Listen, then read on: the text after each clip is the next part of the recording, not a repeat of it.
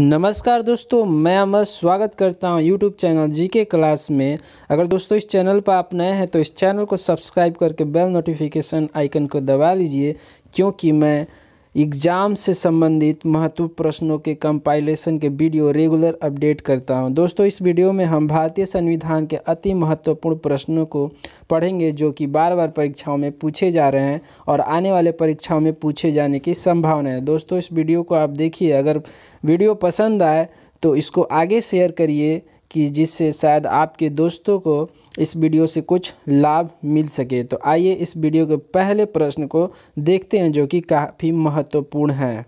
Question number पहला है, भारतीय संविधान के किस अनुच्छेद के अंतर्गत राष्ट्रपति पर महाभियोग चलाया जा सकता है?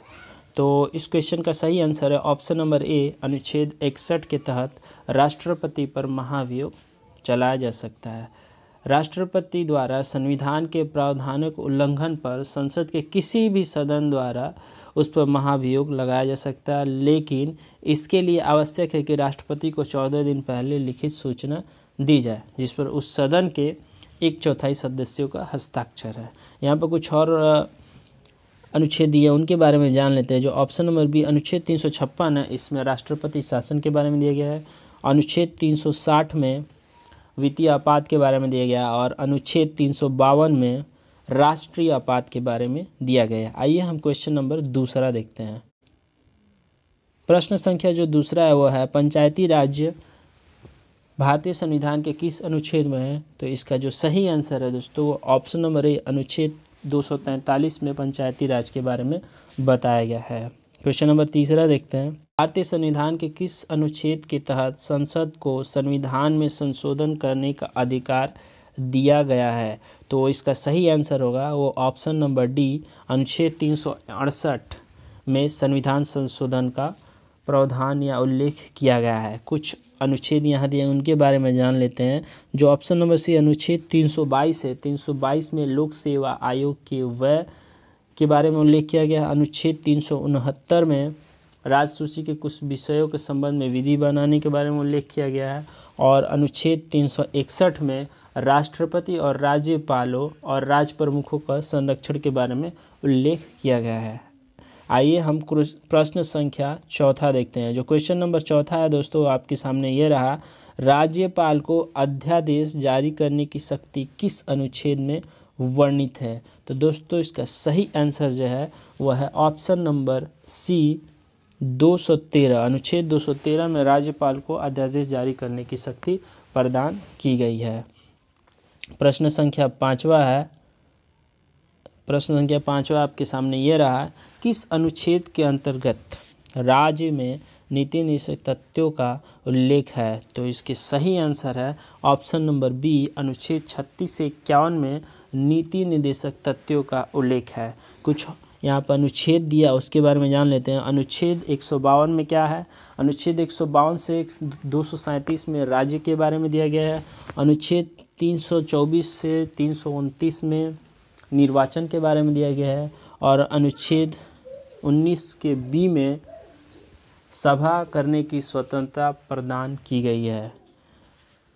क्वेश्चन नंबर छठवा देखते हैं। क्वेश्चन नंबर छठवा आपके सामने यह रहा किस अनुच्छेद के अंतर्गत भारतीय, भारत रत्न दिया जाता है? किस अनुच्छेद के अंतर्गत भारत रत्न दिया जाता है?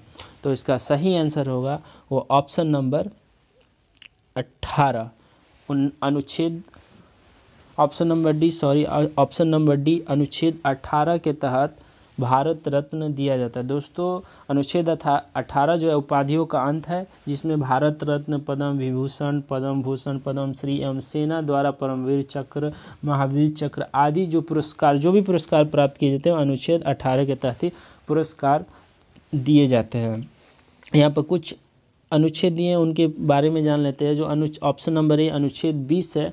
इसमें अपराधों के लिए दो सीधी के संबंध में संरक्षण दिया गया है। अनुच्छेद 14 में विधि के समक्ष क्षमता दिया गया। अनुच्छेद 19 की ए में बोलने की स्वतंत्रता प्रदान की गई है। ये क्वेश्चन नंबर छठवा था। क्वेश्चन नंबर सातवा रहा ये आपके सामने।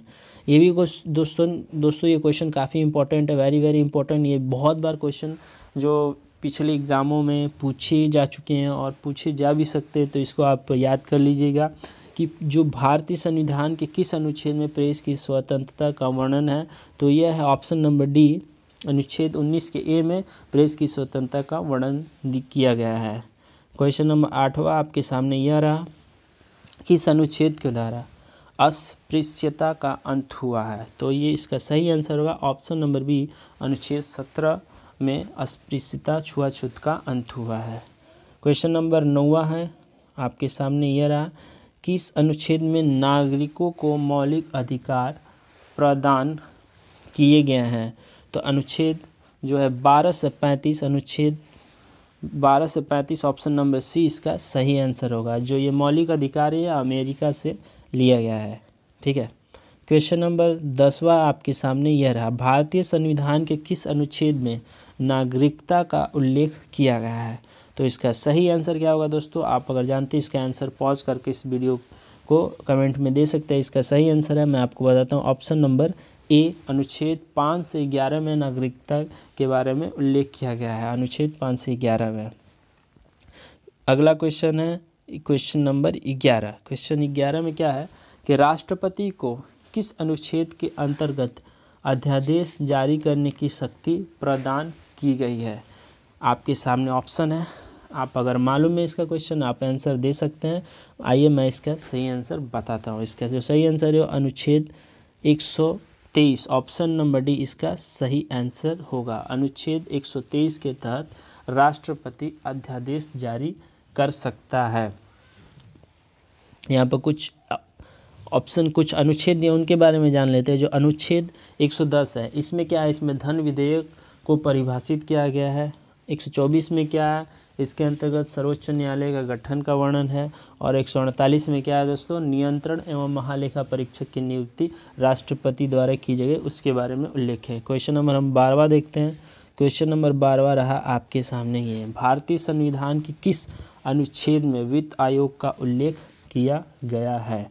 तो दोस्तों, क्वेश्चन नंबर जो बारवा है, वो वित्त आयोग के बारे में तो वित्त आयोग जो ऑप्शन नंबर अनुच्छेद 280 है, ऑप्शन नंबर बी उसके तहत वित्त आयोग का उल्लेख किया गया है, अनुच्छेद 280 के तहत।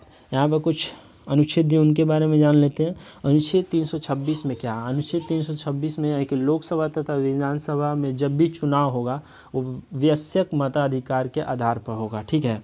और 300 अनुच्छेद 315 में क्या है? 315 में संघ एवं राज्यों के लिए एक लोक सेवा आयोग की स्थापना की जाएगी। और अनुच्छेद 275 में है कि केंद्र द्वारा राज्य को सहायक अनुदान दिए जाने का प्रावधान है 275 में। आइए क्वेश्चन नंबर हम तेरहवा देखते हैं। क्वेश्चन नंबर तेरहवा है, आपके सामने यह रहा संपत्ति का अधिकार। संपत्ति का अधिकार भारतीय संविधान के किस अनुच्छेद में है? तो इसका जो सही आंसर है ऑप्शन नंबर सी अनुच्छेद 300 क में संपत्ति का अधिकार दिया गया है। ठीक है क्वेश्चन नंबर हम चौदहवा देखते हैं। क्वेश्चन नंबर चौदहवा रहा आपके सामने। ये, इसका आंसर आपको अगर मालूम है तो आप इसका आंसर दे सकते हैं। अगर नहीं तो आइए हम जानते हैं इसका सही आंसर क्या होगा। तो इसका सही आंसर होगा ऑप्शन नंबर डी अनुच्छेद 110 110 में क्या है? धन विधेयक को परिभाषित करने का उल्लेख किया गया है। ठीक है मतलब धन विधेयक को अनुच्छेद 110 में परिभाषित किया गया है। और जो अगला क्वेश्चन है दोस्तों, वह है सर्वोच्च न्यायालय न्यायालय का गठन संविधान के किस अनुच्छेद में है? तो इसका जो सही आंसर है, वह दोस्तों है 124 ऑप्शन नंबर सी, अनुच्छेद 124 में सर्वोच्च न्यायालय का गठन संविधान के अनुच्छेद 124 में है। दोस्तों, कुछ ऑप्शन आपके सामने दिए हैं, उसके बारे में जान लेते हैं। और अनुच्छेद 123 में क्या है? तो अध्यादेश राष्ट्रपति को अध्यादेश जारी करने का अधिकार अभी आपको बताया और 300 क में क्या है? तो इसमें है, आप संपत्ति का अधिकार है और अनुच्छेद तीन सौ अड़सठ में क्या है? तो ये संविधान संशोधन करने के बारे में दिया गया है। दोस्तों, अगर ये वीडियो आपको पसंद आया होगा थोड़ा सा भी मददगार साबित हुआ होगा तो इस वीडियो को आगे शेयर करिए कि लोग इसके बारे में थोड़ा जानकारी ले लें और मेरे चैनल से जुड़ने के लिए इसको सब्सक्राइब कर कर बेल नोटिफिकेशन आइकन को दबा लेंगे। मैं आगे भी ऐसे ऐसे वीडियो आपको जब जब अपलोड करूँगा, उसके नोटिफिकेशन मिल जाएँगे। Thanks for watching this video.